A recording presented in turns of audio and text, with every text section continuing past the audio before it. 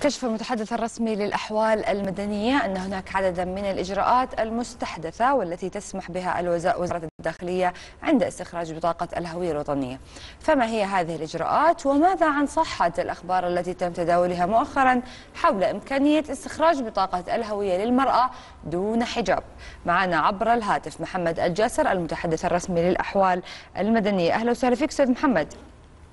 حياكم الله مساك الله بالخير ومساك المشاهدين الكرام. مساك الله بالنور. أستاذ محمد لو تكلمنا بداية عن الاجراءات المستحدثة في استخراج الهوية الوطنية. آه طبعا في البداية أشكر لكم آه، استضافتنا في البرنامج آه لتوضيح بعض النقاط اللي آه آه يعني تداولها بعض المواقع الإلكترونية وبعض الصحف.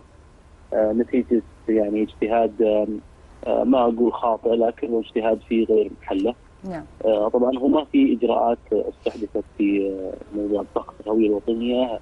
ما زالت اجراءات لكن الأحوال المدنية يعني لا تبخل في تسهيل جميع الإجراءات للمواطنين فيما يخدم المصلحه العامة ومصلحة المواطن يعني لا يوجد طبعا هو كان ما في إجراءات جديدة. آه، هو كان هو هذا الاجراء معمول فيه ما زال حتى الآن آه، في السابق وما زال حتى الآن إنه ممكن ان تطلب من الموظف أو الموظفة إنه الاطلاع على الصورة قبل اعتمادها.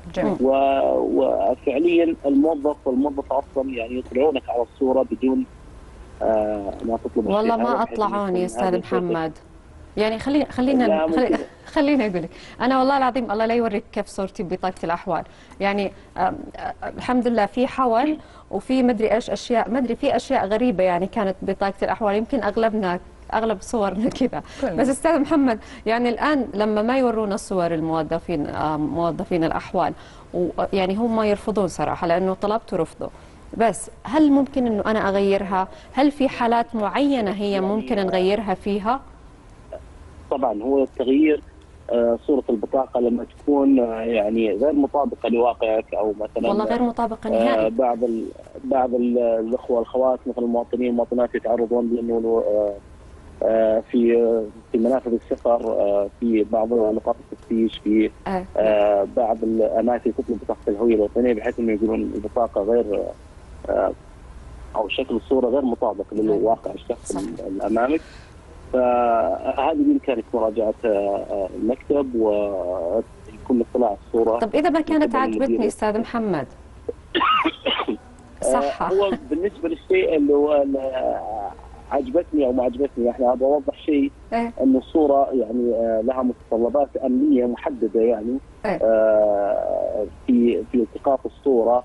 يجب أن تكون في آه، ظاهرة أمام الموظف بحيث أنها تكون نعم. موظفة نعم. بحيث أنها تكون يعني مطابقة لما هو آه، مطلوب آه، لوضوح الصورة، لكن إذا كان فيها اختلاف كبير، إذا كان فيها تغير في الملامح، إذا كان في خطأ في التقاط الصورة أو أو جودة الصورة أو فيتم تغيير البطاقة بكل يعني يسر لكن هي إثبات للشخصية فقط.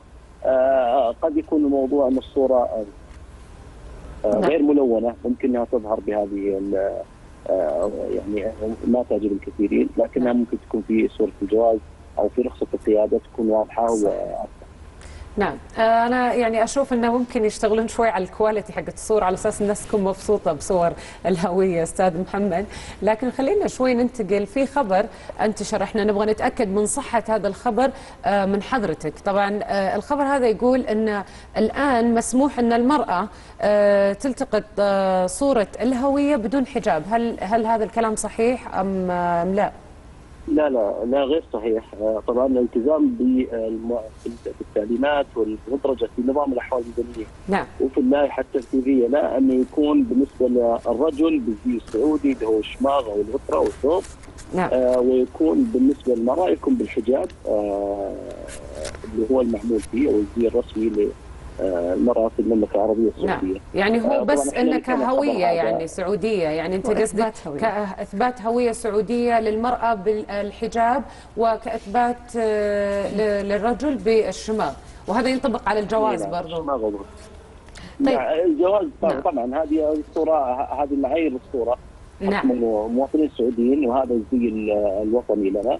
نعم. فيجب الالتزام فيها يمكن الآن زعلنا كثير من البنات أستاذ محمد لأنه كثير كانوا متأملين وأنا من ضمنهم بروح أخذ بطاقتي واركض على الأحوال من جد لأنه نغير الصورة شوي نخليها زين نعم آه بالنسبة لتغيير الصورة يعني نعم. مثل ما قلت أنا إنه إحنا كل فترة يعني نحسن من جودة الكاميرات والتقاط نعم. الصورة بحيث إنها تكون ظاهرة نعم. آه بشكل أفضل آه إحنا نستخدم أحدث التقنيات آه، الموجودة على مستوى العالم الآن في طباعة بطاقه الهوية الوطنية.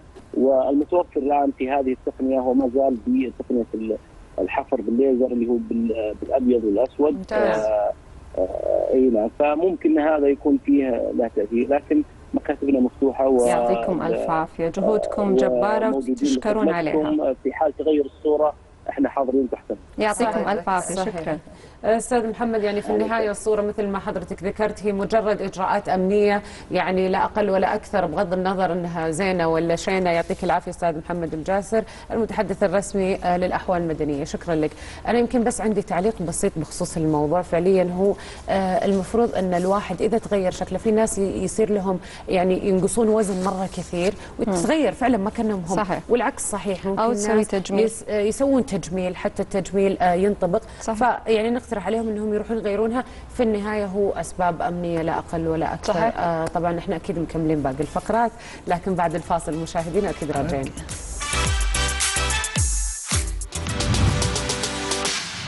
بعد الفاصل سارة